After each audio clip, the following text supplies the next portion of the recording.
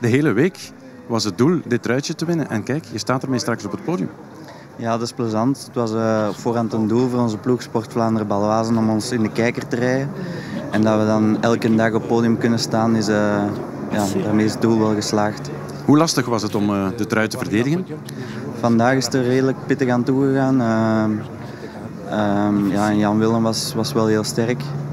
En dat was, uh, het was niet, niet makkelijk, maar ik ben blij dat het gelukt is. Wat betekent dit voor jou, een trui in de nationale ronde?